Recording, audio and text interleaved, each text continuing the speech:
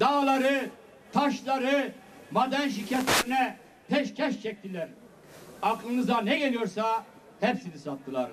Yetmedi zeytin ağaçlarına dadandılar. Toprağıma, suyuma, zeytinime dokunma.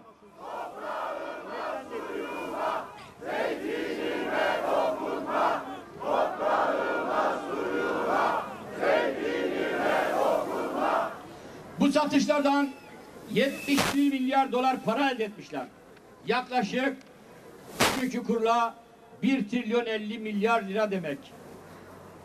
Bu para ne emeklilere, ne de çalışanlara, ne de işsizlere, ne de çiftçilere pay aktarılmadı. Var, beşli Sonuçta bu özelleştirmeler bize hayat pahalılığı, yoksulluk, hatta açlık olarak döndü. Peki bu paralar nerede? Kimlere gitti? Sahi hazinede buharlaşan 128 milyar dolardan bizlere ne düştü? Adrese teslim ihallelerde nasıl bir kamu yararı gö- gözetildi?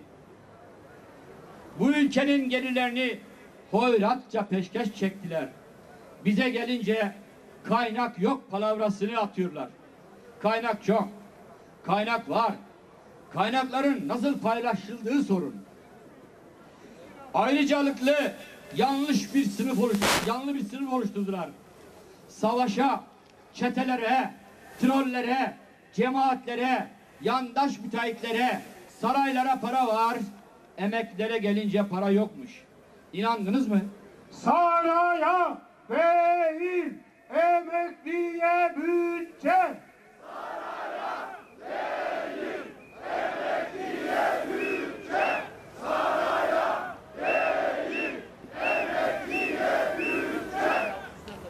Güya sosyal güvenlik reformu yaptılar.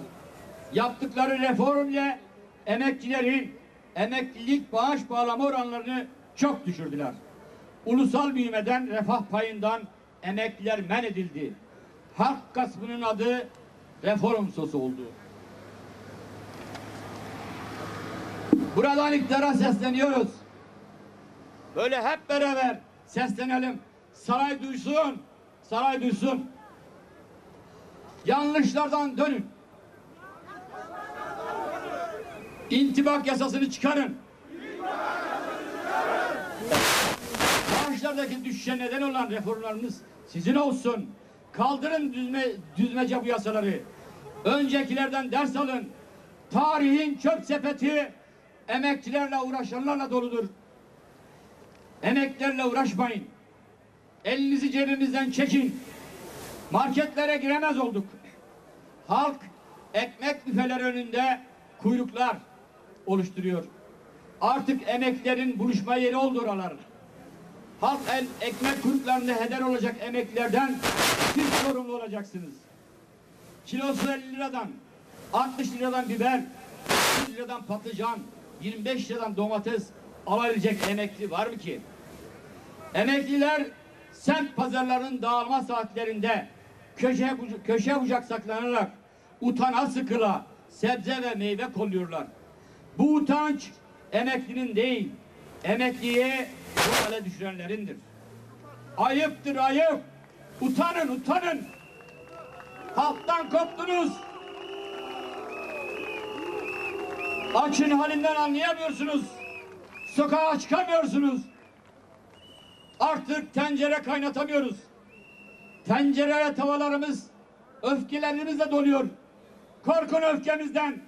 Korkun bu halkın, halkın öfkesinden. Seçim sandıklarında öfkelerle yüzleşeceksiniz. Sadece sandıkta değil, mahallede, sokakta, iş yerlerinde, kahvelerde, evlerde, bütün yaş bütün yaşam alanlarında demokratik ve barışçıl tepkilerimizi koyacağız. Daha güçlü olmak için huzurunuzda buradan bütün sendikalara, derneklere, platformlara ve örgütlenmiş, örgütlenmemiş olan emeklilere çağrımızı yineliyoruz. Gelin birleşelim. Güçlerimizi birleştirelim. Bu sadece bizim isteğimiz değil. Yaptığımız saha çalışmalarında emeklinin genel talebidir. Konuştukça ayrılıkların anlamsızlığı görülecektir.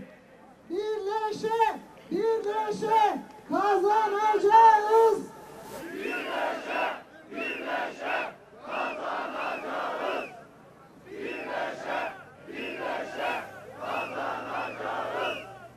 Ah TÜİK!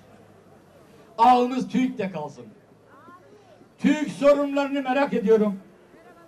Milyonlarca emekçinin, dul ve yetimin vebalini nasıl taşıyorlar? Vicdanları teslim etmemek lazım. Başka da bir şey demeyeceğim. TÜİK soslu, gayri ciddi, enflasyon endeksli bir yaşam istemiyoruz.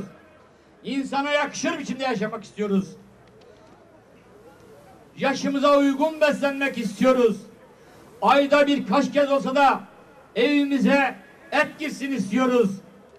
Arada sırada olsa da tiyatroya, sinemaya, konsere gitmek istiyoruz. Seyahat etmek istiyoruz. Belki şaşıracaksınız ama kitap almak istiyoruz. Biz insanca yaşamayı talep ediyoruz. Emeklilerin e, hak ettikleri Emek emekli Partisi maaşı Ankara almasını hak ediyoruz. Şükran Unutmasın Doğan ki bu halk emekliler bir amca, bir e, yenge, TKP bir teyze, bir enişte, bir baba, Hoş bir geldiniz. anne, bir dede, bir torun.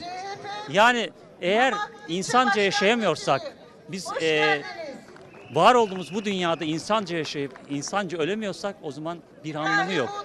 Biz bunca yıldan sonra Arkadaşlar, insanca buradaki yaşayabileceğimiz bir maaş talep ediyoruz. Bildiğiniz gibi eskiden verilmesi, e, bir emekli maaşı asgari ücretten az olamazdı. Ben, e, Ama şimdi genel başkanlarına 2500 ayrı lira için duyduğunuz biz gibi gene- biz 4 Emekli milyon emeklimiz var. Yavuz'u Diğerleri de emekli tutuyorum. maaşı Birazdan üçünü maaşları kesinlikle asgari ücrete bile tekabül etmiyor. Bu yokluk yoksulluk maaşıdır. Yani yok yok demektir. Yok saymak demektir. Biz emeklinin var olmasını istiyoruz. Sayılmasını istiyoruz. İki buçuk yeni oldu ama hiç yetmiyor arkadaşım. Çantama koyuyorum eve gelene kadar kalmıyor. Yetmiyor. 6-7 milyar var olsun. İki tane çocuğum var geçindiremiyorum vallahi hiç kalmıyor. 5 milyar da olsa yetmez yani. Şu kadarı bize maaş ve emekli maaşı verdi şu kadar geri alıyor. emeklinin ben mutlaka en az askeri ücret askeri ücretten maaş almaları gerektiğine inanıyorum. Askeri ücret demek bu ülkede yani en alt seviyede geçinen insandır. Emekli bir insan da onun da altında alıyorsa demek ki açdır. Sadece bakıyoruz. Ya alırsak bir tane ya iki tane başka almıyoruz. Bakıp geçiyoruz. Emekliler aç.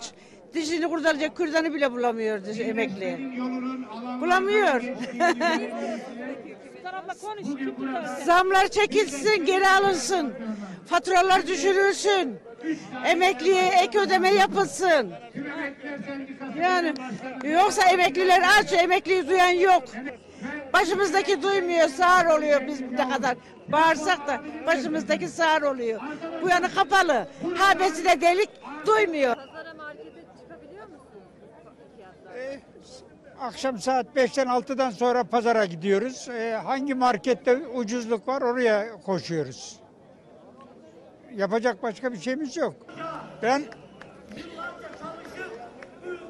memuriyete başladığımda 450 lira para alıyordum. Ev kirası veriyordum. Anneme babama bakıyordum. Şimdi emekliyim. O zaman ha böyle bir kaşar peynir alıyordum her ay. Şimdi bir dilimini alamıyorum. Bir dilimini.